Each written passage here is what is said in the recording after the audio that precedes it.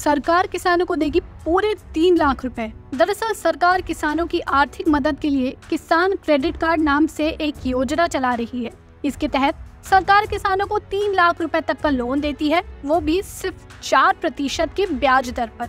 इसके अलावा यह स्कीम केसीसी होल्डर को मृत्यु या विकलांगता की स्थिति में पचास हज़ार रूपयों तक का कवरेज भी देती है।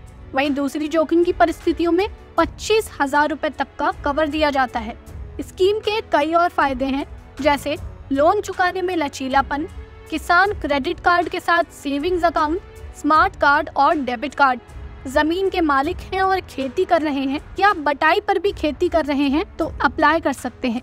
अप्लाई करने के लिए बैंक की वेबसाइट पर जाएँ, किसान क्रेडिट कार्ड का विकल्प चुनकर अप्लाई करें फॉर्म भरें और सबमिट कर दें।